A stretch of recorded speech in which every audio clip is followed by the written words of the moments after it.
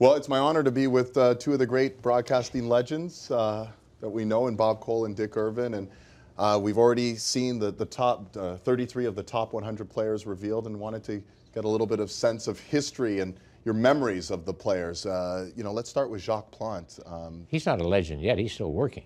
a living legend. How's Yeah, that? A, right. a, a working living legend in Bob Cole. But, you know, Jacques Plante was someone who really revolutionized uh, hockey.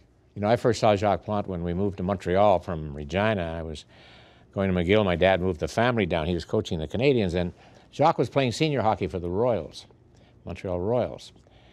And I go to the, my first game to see Jacques Plante, and here's this goaltender who is running out to the corner of the rink, running up to the blue line, passing the puck, giving instructions to. The goalies used to just stand there in the goal crease, you know. And I'm looking at this guy, saying, "What is this all about?" Never saw a guy act that. And he wore a toque a toque that he knitted, and he always wore the toque. No mask in those days. So the Canadiens goalie gets injured, and they bring up Jacques Plante for the, the substitute one night, and my dad wouldn't let him wear the toque in the NHL. And the press went all over him. You, he's Irvin's ruined his career before it even started. He's going to be shattered not having his toque on. Anyway, Plante goes out, no toque. They win the game three to one, and he said right after the game, he said, "I'll never wear the toque again," and he never did. Um, What about Terry Sawchuk? I went through a couple of years. You know, I thought the best player in hockey was Terry Sawchuk. Why is that? because he was so good. I mean, one night they played in Montreal. And I've seen a lot of hockey games and forgotten a lot of hockey games, but I remember this one like it was yesterday. The Canadiens outshot Detroit 48 to 12. Detroit won the game 3 to 1. You take that to the bank, David. Sawchuk was the best. I, I always believed that. He was a masterful, masterful goaltender. Pronovost talked about Sawchuk in practices, this Marcel Pronovost. And he said, you know, he'd get so mad at you if you scored on him in a practice. He really would be upset with you, and he'd whack you next time you came by the. So that was Terry Sawchuk, but he was a great goalie. Bob, uh, we'd be remiss if we didn't talk about Mr. Hockey, Gordy. Gordie Howe. Um, I know you had a story you wanted to share about Gordie. I was not working in the National Hockey League yet and uh, aspired to be some kind of an announcer in the league down the road somewhere, maybe, I hoped. And uh, I spoke to our executive producer at the time, Ralph Mellanby, and uh, I called him and I said, I'd love to do a game on tape so that I'd have an audition tape if I were to need one someday with National Hockey League players. Ralph said, sure, we've got an open spot uh, in the forum Wednesday night. Come on up, Detroit is in. Get your tape recorder and blah, blah, blah. And so I did. And I heard about Gordie Howe, how he could do this, could do that, could do something else.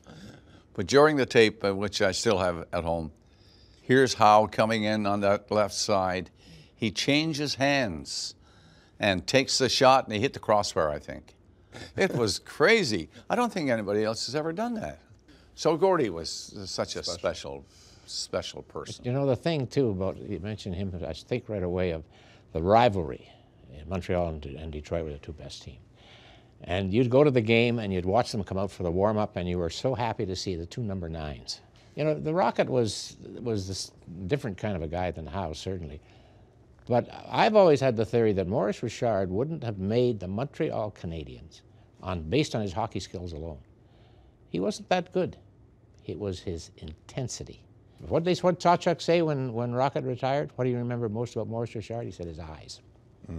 You know, and Those eyes would go right through you if they had yeah. to. Another Canadian great, uh, Jean Beliveau. Uh, you know, when you think of the Montreal Canadiens, maybe that is, you know, one of the two names that comes to mind as, as the greatest. you know, uh, I've often said if they had, if you took every player who's ever played hockey and had a draft, and I had the number one pick, I would pick Beliveau. I'd pick Beliveau because of his leadership. It's so strange how you talk to the players who played with him through his heyday, and it's Big John said this, Big John said that. We did this because of Big John wanted us to do it. It's amazing. He was so so classy and such a leader, and I tell you, he won a couple of cups for them. I mean, I know that much. Dick says classy, yeah, and that's Beliveau. You have to say that if you're talking about John. We've highlighted a lot about the great goal scorers that have been announced in the 33 uh, top players. There's only five defensemen on the list. Um, when you think of Doug Harvey, uh, what what comes to mind when you think about the legacy he's left? I saw Doug Harvey for the first time when I was in Montreal, and uh, he, he, as they talk about a, a player controlling the game today, I guess Dick, you, you've seen Harvey, of course, Oh, a lot more. That that was his big deal, wasn't it? Controlling the game, pace. Yeah, If it needed speeding up, he'd speed it up. If it needed slowing down, he'd slow it down. Things were going bad inside your blue line, he would take Settle over. down. You know, So for our younger fans watching this, a Nick Lidstrom. exactly. uh, you know, maybe even slower if he, you know, at, at times. You know, there's been over the years, there's been a lot of people pick the all-time All-Star team, and it seems to me that every one I ever heard of had on defense Doug Harvey and Bobby Orr, and I can just see that combination now. Doug slows things down, gets a hold of the puck. He said, "Take the puck off the other guy's stick." So, ah, I don't know. And he'd say, "Here, Bobby, you give it to Orr. Go out. Where you go. Speed it up. I'll- I'll see you in a minute." take it up. I'll be here when you get back." You know, you know, one name on that list, and it brought back a great memory for me, is Dave Keon. And uh, the Leafs and the Canadiens in the '60s, when the Leafs were winning the Cup under Punch Imlach, played Game Seven of a semifinal series in Montreal, and the Leafs won three to one. I believe it was one, but three for sure. And Keon got all three goals. And I don't think Bob and Dave, and all my time watching, I saw a player dominate a game the way Dave Keon did that night. I mean, here's you're talking Game Seven in the other guy's rink, you know. So the game's over. The Leafs have won the series. Keon has did it all, and they announced the three stars. The first star is Johnny Bower, goalie of the Toronto Maple Leafs. Second star, Charlie Hodge, goalie of the Montreal Canadiens. Third star, Dave Keon. So after the game, I ran into Keon and I congratulated him on the great game. He said, "What does a guy have to do to get first star in this building?" When you look at the overall collection of the 33 players named, and knowing there's going to be 67 added to this list, what words come to mind? Well, I think uh, I, re- I remember when I went through the list, when you provided me with the list first, they all deserved to be there. That's my feeling. I, I couldn't see anybody that I've said, and you know, hey, we're fans, we have our opinions of who's good, who's not so good. But I looked at the names and I thought, you know, you can't fault uh, the basic premise of every one of those guys.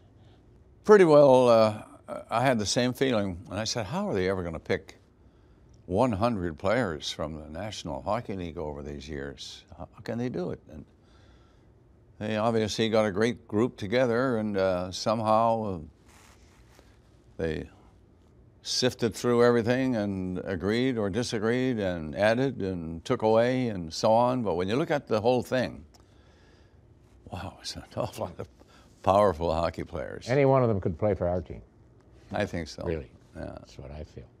Yeah, it's an amazing collection, and there'll be 67 more added. Yeah, Um, it's going to be an exciting weekend, an All Star weekend. Honestly, um, I've been in this business for 20 years now, on- in some way, shape, or form. And this is a big highlight for me. so I want to thank you guys both. This is uh, tremendous to be with two broadcasting icons like yourself. So thank you so much. Hey, David, Irvin. thank you. And Bob Cole, thank you. There we go. David, Yeah, it's always you. good working with you as well. So um, thank you, gentlemen.